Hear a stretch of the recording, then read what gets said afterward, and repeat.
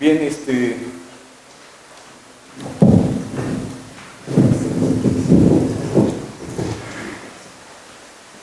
Esta es la portada del póster que ha convocado a todos ustedes. Éramos jóvenes y sífilis en aquel tiempo, estamos hablando de principios de los ochentas, y pues hay varios aspectos que ilustran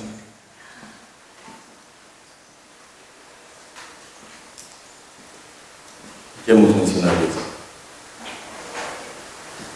Bien, actualmente el Museo de Zoología está conformado por seis técnicos y 12 profesores. Hace 40 años era solamente un técnico académico. Estos, los técnicos, son un auxiliar, dos asociados, tres titulares, con PRI de C y D, un candidato en el SNI y un nivel 1 en el SNI.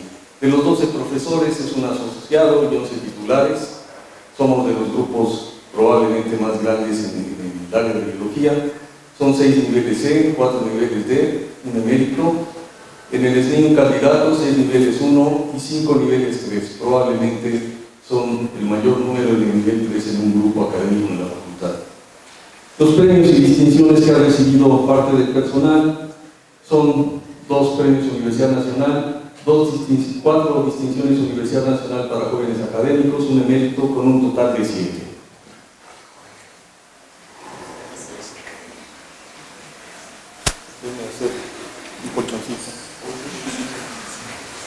Bien, los grupos en entomología, pues estamos aquí Roxana Costa, Juan José Morrón, Armando Luis, su servidor e Isabel Vargas.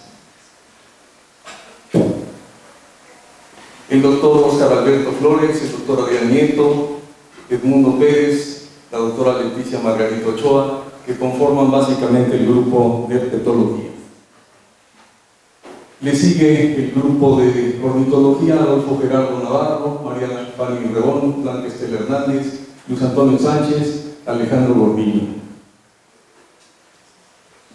Y finalmente, Lidia León, Tania Escalante, Rosario Mata y Eric Alejandro García, todos doctores actualmente.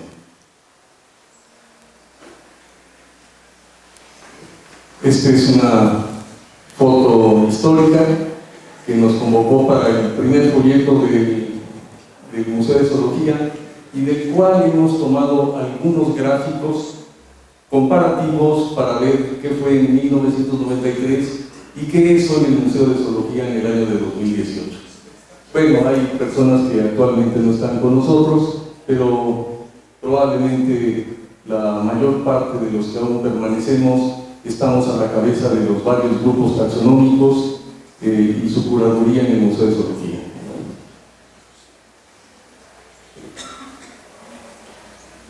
El primer balance al año de 1984 había ocho colecciones, odonatológica, lepidopterológica y menopterológica, abejas y avispas, ectoparasitológica, ictiológica, herpetológica, ornitológica y mastozoológica. Ocho colecciones principales. Estas colecciones estaban representadas en aquel tiempo, en 1984, repito, por 4.500 odonatos, 3.000 coleópteros, 5.000 hemípteros, ya 54.000 lepidópteros, no sé por qué, himenópteros 7.500, ectoparásitos 16.000, peces 1.600, reptiles y anfibios 2.500, aves 3.600 y mamíferos 3.350. Esta es la etapa inicial para las colecciones, vamos a ver que sufren un crecimiento impresionante, en particular la colección lepidopterológica. Aquí está eh, de aquí pudimos obtener el incremento anual, cerca de 8.000 ejemplares o hasta 12, año con año, desde 1978 que abrió sus, sus puertas hasta 1984.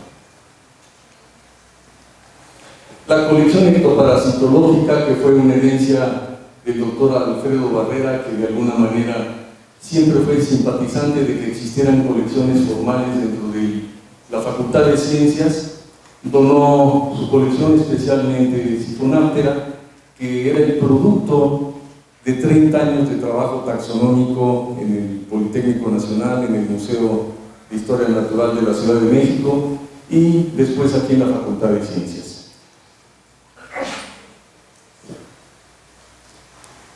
El anual de la colección la ornitológica y la mastozoológica. Quiero subrayar que una de las funciones y propósitos del museo cuando abrió sus puertas es que iba a ser el depósito de las colecciones de otros laboratorios, de otros grupos de investigación y en particular de los profesores, eh, de los estudiantes de posgrado.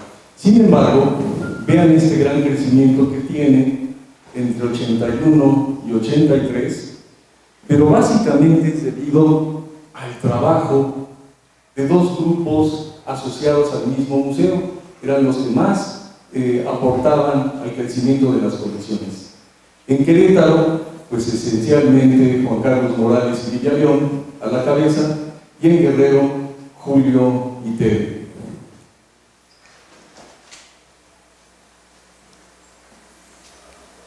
Ahora vamos a hacer este balance, este corte hacia 1993, ya casi 15 kilos después, ustedes pueden apreciarlo. Y este es un folleto que publicamos con motivo de aquel, aquel tiempo y a él me refiero. Vemos que las colecciones ya habían crecido en varios miles, un crecimiento bastante importante.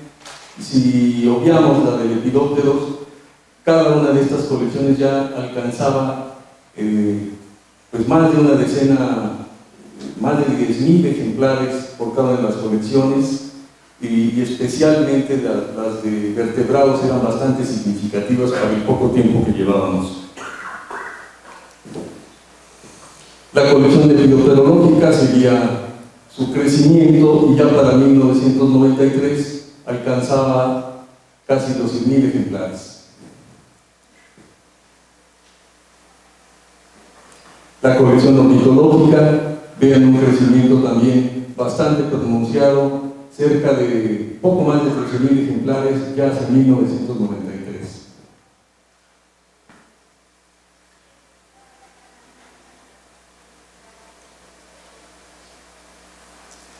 La colección mastozoológica, que tuvo un crecimiento pronunciado hasta 1987, aquí alcanza a cerca de los 6.000 ejemplares, es una cifra bastante considerable para una de las colecciones más importantes que actualmente tenemos.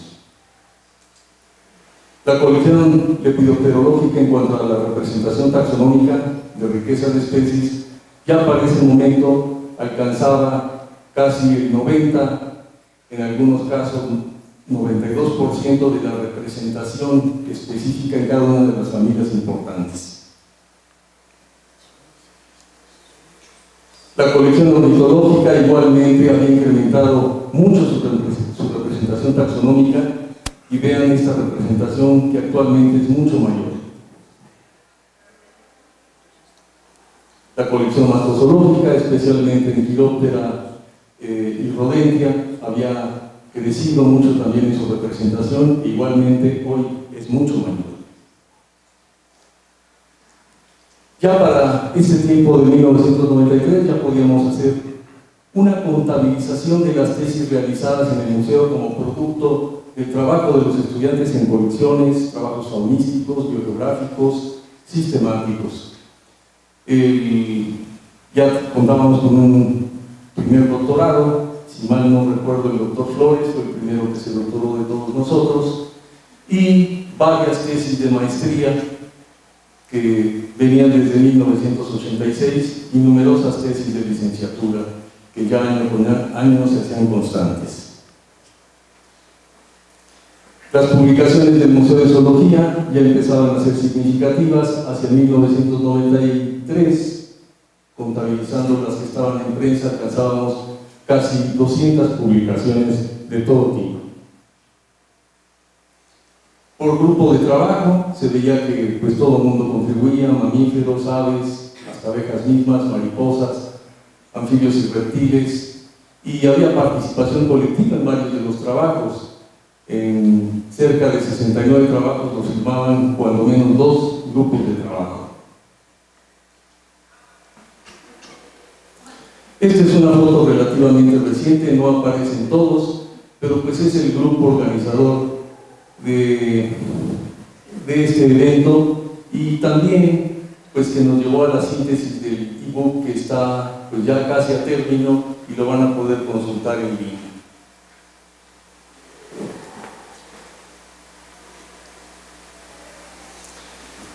Quiero que para el 2018 este balance se den cuenta del enorme esfuerzo que los distintos miembros del Museo de Zoología han desplegado de materias de licenciatura, es decir, número de cursos, no propiamente materias distintas, han impartido 464 el, el núcleo del Museo de Zoología. De biologías de campo, 31, lo que ahora llamamos talleres de licenciatura o de iniciación a la investigación, son 274 cursos. De materias de posgrado, 125, cursos extracurriculares, 116, haciendo un total de 1010 cursos en total. Y finalmente, respecto a docencia, la formación de recursos humanos, puede verse el enorme crecimiento en la dirección de tesis que tuvo el personal del Museo de Zoología. En la licenciatura alcanzó un número de 230 tesis dirigidas, en la maestría 141 tesis dirigidas y de doctorado, no es un número pequeño, 65 tesis concebidas dentro del museo y habiendo obtenido su, su, título de doctor. Pero no solo eso, también han estado de distintas partes de Sudamérica y Norteamérica haciendo estancias postdoctorales varios eh, ex estudiantes en un número de 17 y estancias cortas o pasantías en un número de 9, haciendo un total de 686.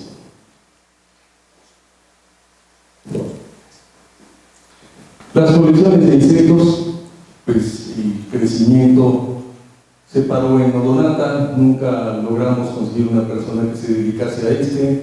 Diptera sí creció en un número de 3.000 y Menóptera a cerca de 25.000 registros de un total de 40.000 ejemplares, ya han sido publicados los catálogos. De Lepidoptera, 350.000 ejemplares con el 90% determinados a nivel de especie y todo esto ya en una base de datos que llamamos mariposa con información de casi la totalidad. De Sifonártera, 15.000 ejemplares montados en laminillas y en líquido, aproximadamente 12.000 registros, y de Coleóptera, de escarabajos, 5.664 ejemplares preservados en alfileres y en alcohol, aproximadamente 5.550. El incremento anual de la colección de Lepidoptera, eh, bastante apoyada por la Conavio, aquí tuvo un crecimiento por la compra de una colección y por el financiamiento de un trabajo a mediano plazo que fue las mariposas de Michoacán, y crecimos pues, más de 100.000 ejemplares. En los últimos tiempos, pues básicamente cerca de 70.000 ejemplares son resultado de un proyecto también a largo plazo sobre las mariposas de Oaxaca. Pero probablemente en cuanto al número de ejemplares alcancemos el, mayor número en, en el museo y sin contar otras colecciones accesorias como es la colección de materiales extranjeros que son 25.000 ejemplares que hemos colectado básicamente en la Amazonía, en los Andes, en el norte de los Andes, la colección de la subfamilia a la cual yo me especializo, los Dismorfine, y la colección de ejemplares para estudio de huevos, ahora me he convertido en el hombre de los huevos, 2.000 ejemplares, y pendientes por incluir 12.000 ejemplares de Oaxaca.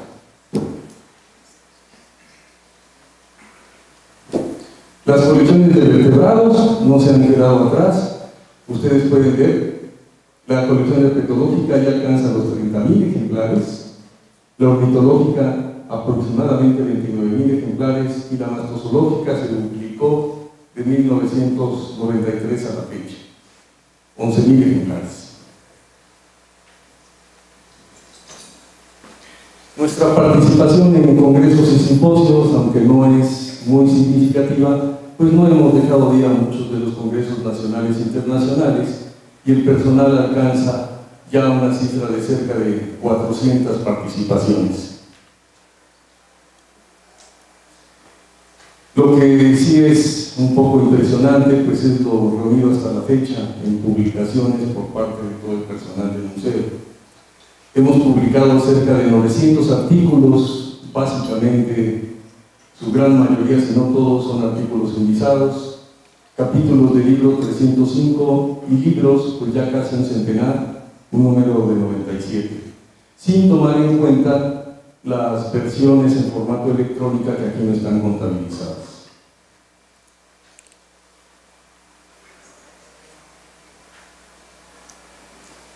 Estas son publicaciones a las que me he referido en la gráfica anterior de todo tipo.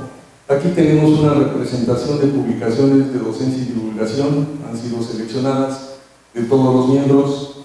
Este es el primer librito que publicó el museo, el primero que publiqué yo. Eh, después, Adolfo Navarro con Ezequiel Benítez publicaron este de dominio del aire, este con Nelson Papadero, herramientas prácticas para la taxonomía zoológica, que era complemento de este libro de taxonomía biológica, este de fundamentos históricos de la biología, con Rosaura Ruiz, que es directora, y otros dos miembros del, departamento asociados al, grupo de, Historia y Filosofía de la Biología. Este es un libro del cual originalmente publicamos en portugués, curiosamente, y luego se publicó en español en el Fondo de Cultura Económica. Este es un libro que ha conseguido bastante impacto del doctor Oscar Flores, Universidad de Conservación en México, Vertebrados, Vegetación y Uso del Suelo. Este que me parece, a mí aunque no le gusta al autor, me parece uno de los mejores dedicado a la docencia y se llama El lenguaje de la cladística. Este que hicimos colectivamente, eh, pues varios miembros del museo y un miembro de la FES Zaragoza, que se llama Introducción al análisis de patrones en bibliografía histórica, y este que se basó en un número, y volumen 3 de especial de ciencias, se complementó en 10 trabajos más y se publicó como texto en el Fondo de Cultura Económica, Taxonomía Biológica. Más trabajos de publicaciones de docencia y divulgación son pues este de Introducción a la Biografía en Latinoamérica, este otro que es el complemento del anterior, este es el tercer libro de esta serie, y el primero que publicamos, producto de la tesis de maestría, David Espinosa y yo, este Fundamentos de Biografías Filogenéticas, que durante mucho tiempo fue el texto que se empleaba en las materias. ¿Por qué he publicado tanto libro? era necesario para atender la formación de los profesores de dos nuevas asignaturas que teníamos en el nuevo plan de estudios. No tuvimos problemas de necesidad de profesores porque estuvieron formándose a lo largo de 7, 8 años con los cursos de posgrado, el diplomado y la manufactura de un conjunto de, libros que, sirvieron para los cursos. Estos dos libros eh, producidos esencialmente por Juan José Morrone, sobre todo este es el libro de texto que actualmente tienen en Sistemática 1. Pero además de esos libros de divulgación y de docencia, una serie de publicaciones especiales que empezamos a publicar con apoyo de la CONAL y algunos, como de la Universidad Taxonomía y Biografía de Artrópodos de México, y que por cierto en el número 4, un corte, dio la posibilidad de hacer una primera lista lo más completa posible de los artrópodos que había para México y que conjugaron el mayor número de especies en la lista que se en Capital Natural.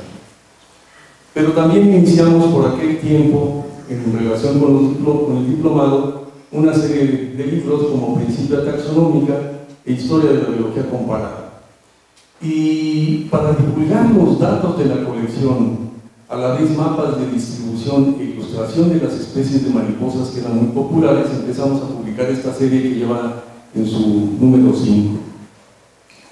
En el museo comenzamos a publicar también varias obras que han sido pues, de bastante influencia, como esta recopilación de claves para la determinación de anfibios y reptiles de México que coordinó eh, el doctor Oscar Flores, la bibliografía de las aves de México, que coordinó esencialmente el doctor Adolfo Navarro, este, que fue un trabajo profundo sobre la distribución altitudinal de un grupo de mariposas, y desde luego esta compilación sobre la situación de la taxonomía en México a lo largo del siglo XX, que compilamos eh, básicamente Patricia, este, Laila Michan y su servidor. Todas esas publicaciones de abajo fueron publicadas a través del Museo de Zoología y las de arriba a través de la Facultad de Ciencias. Una tarea a la que siempre nos dimos eh, tiempo, dedicación y esfuerzo fue la publicación de los catálogos de las colecciones. El primero fue este catálogo de pulgas, donde participamos, cinco personas. El catálogo de mamíferos, le el catálogo de anfibios y reptiles, el catálogo de aves y un segundo catálogo de pulgas que hace tres o cuatro años publicamos tres autores del Museo de Zoología. De las series de publicaciones, algunas pues de 2.000 a 4.000 páginas, logramos ponerlos de manera amigable en CDs, donde los estudiantes pudieran tener acceso más fácil, con menos volumen y, de manera amigable. Y pues aquí están ocho libros, aquí están cinco, aquí están nueve y aquí están cuatro libros, cada uno de ellos con más de 700 páginas.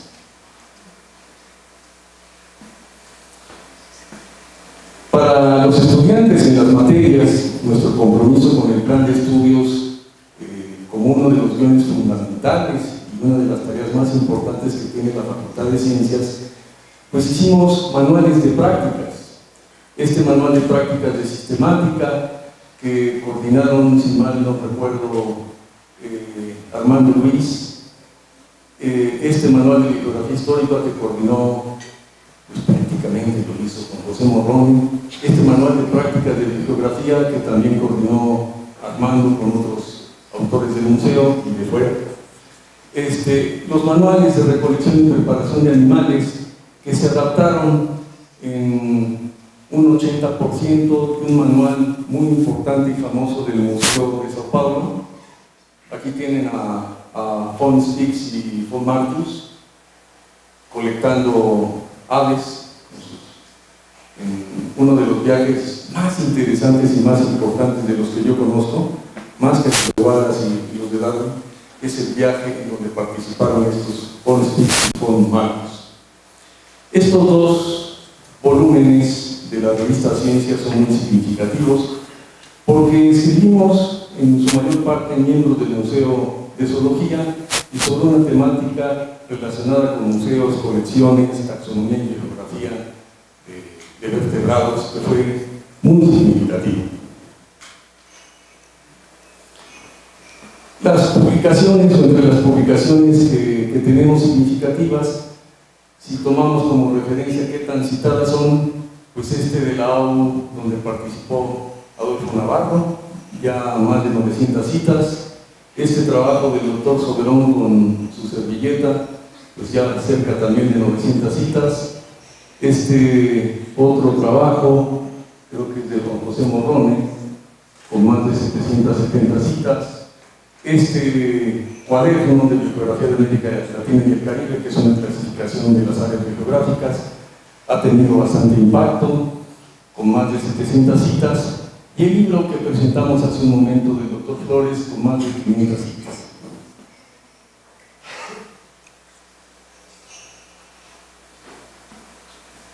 Bien, también en los últimos años, digamos en los últimos 10 años, hemos alcanzado editoriales internacionales.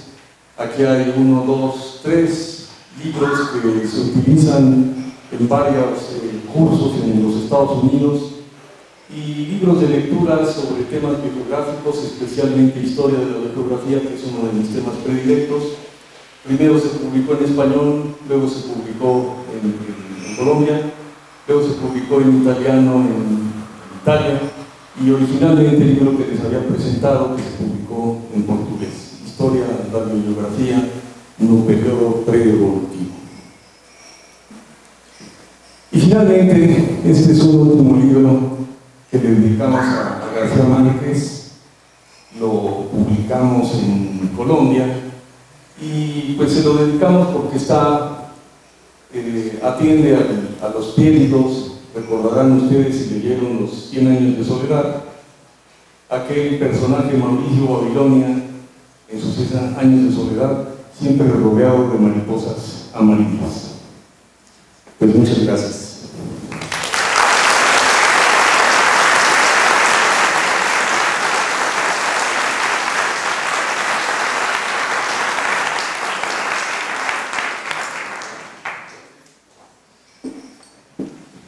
Aprovechando el tiempo, vamos a presentar un, un pequeño corto con muchas fotos históricas que se llama Hitos y Logros del Museo de Zoología.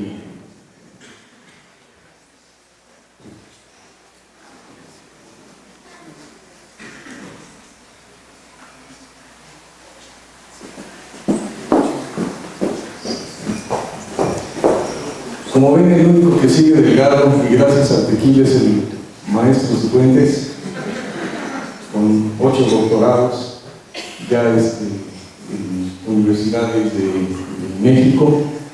Varios de las personas que, aquí están ahora se encuentran en otras instituciones y bueno, no vean a este Armando Luis porque nunca tuvo esa, esa barriga como que han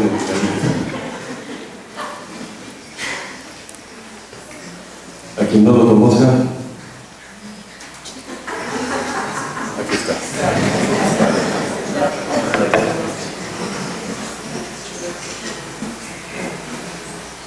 En el Museo de Zoología, en el Museo de Zoología llegaron muchos ex estudiantes que habíamos participado en los grupos estudiantiles que se llamaban JETA, era opción nombre, pero eran las siglas.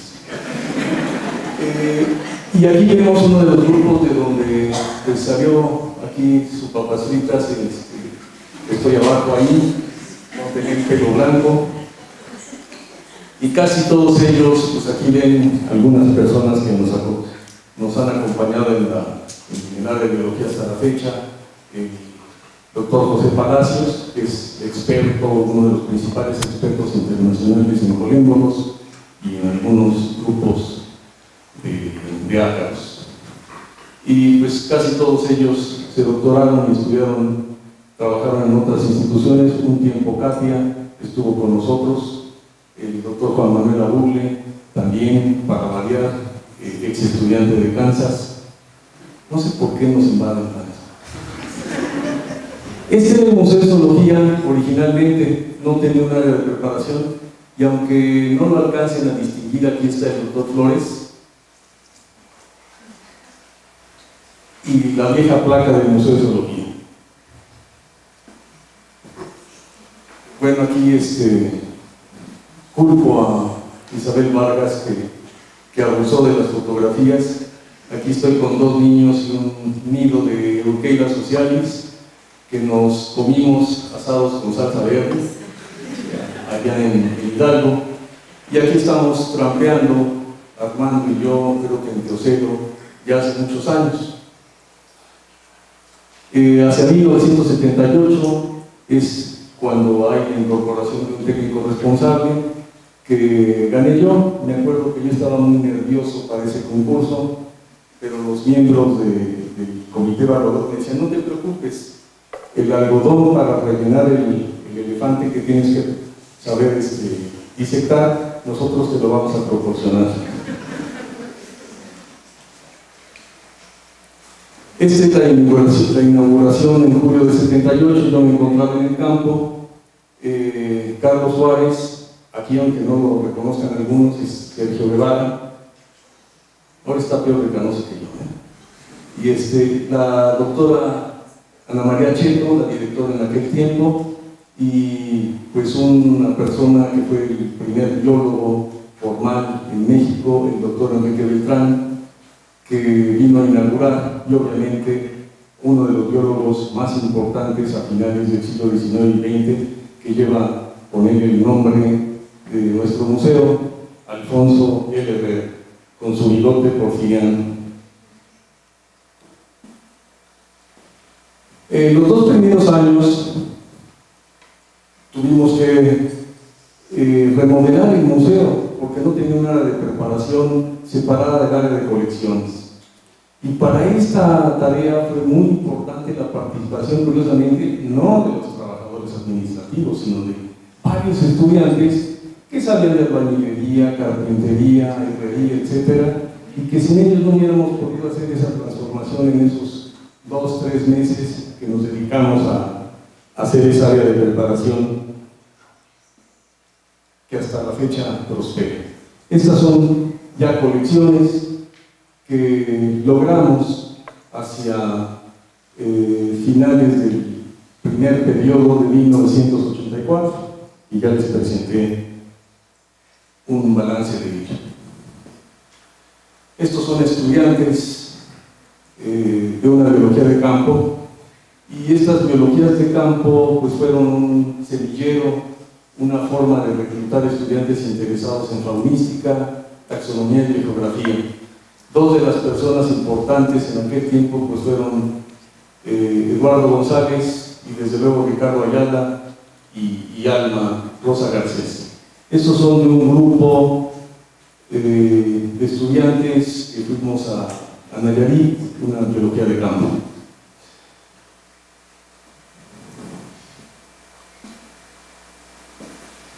Eh, hacia 1981 se incorpora la primera curadora de vertebrados, la doctora Patricia Escalante.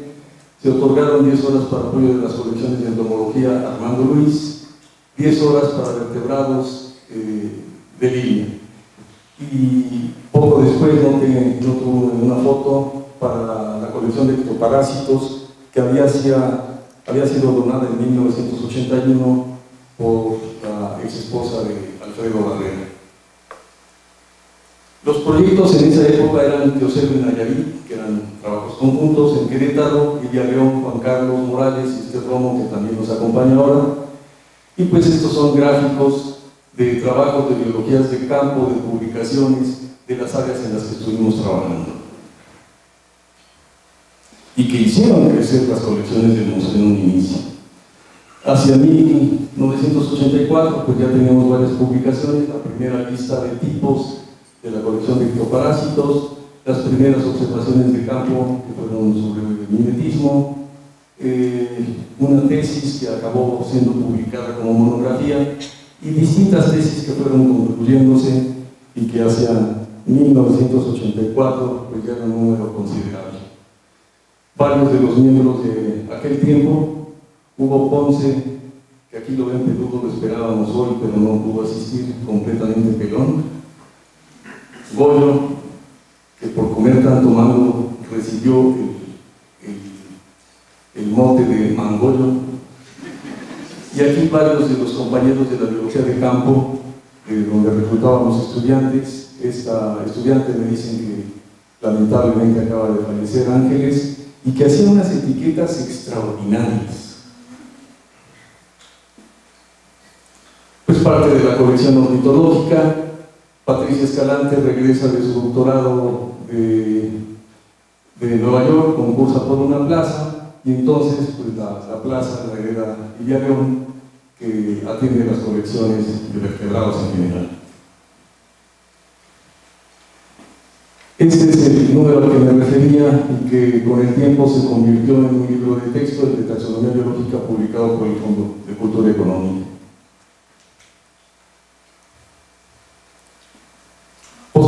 Se incorporaron los primeros egresados del doctorado Blanca Hernández y Adrián Nieto.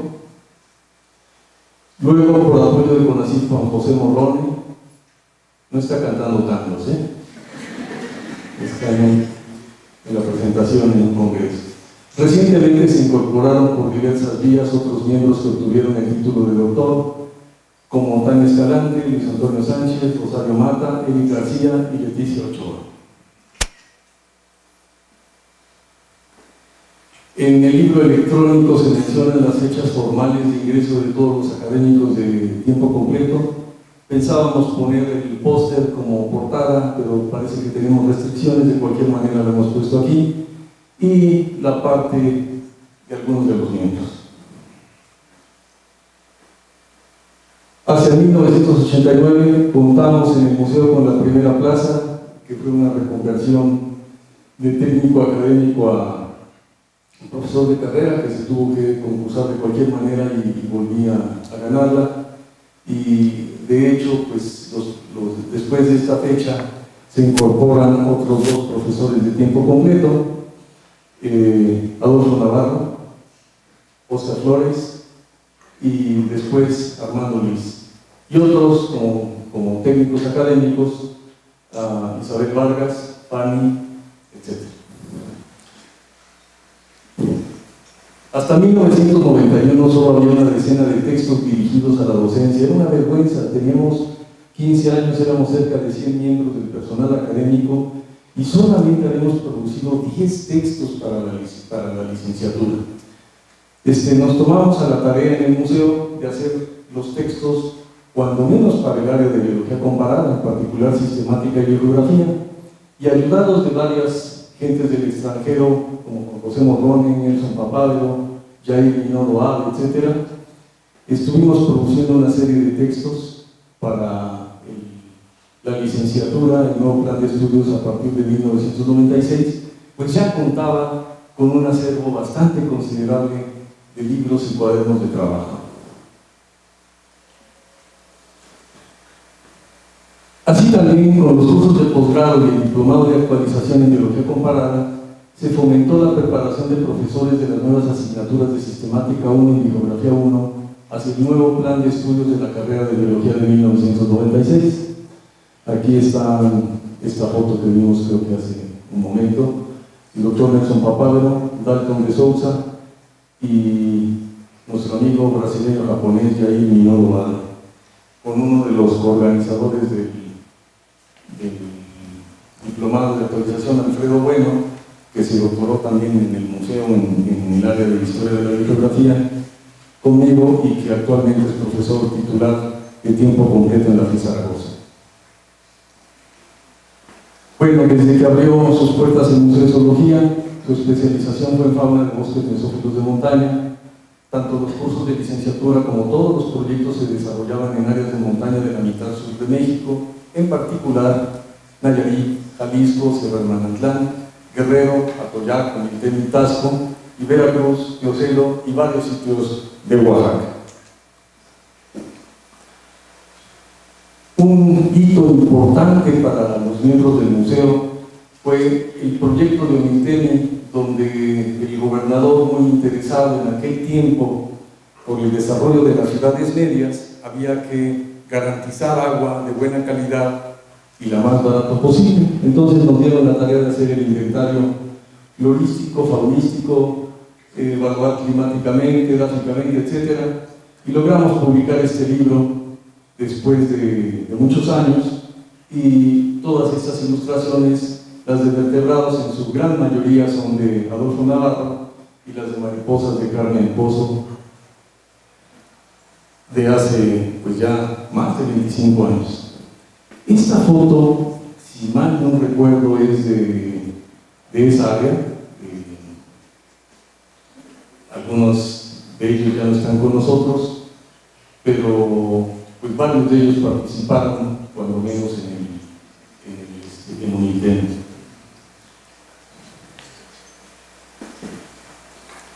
A lo largo de todo este tiempo, la tarea colecciones y la diversificación en colecciones accesorias se convirtió en una tarea permanente y constante, tanto en vertebrados como en entomología.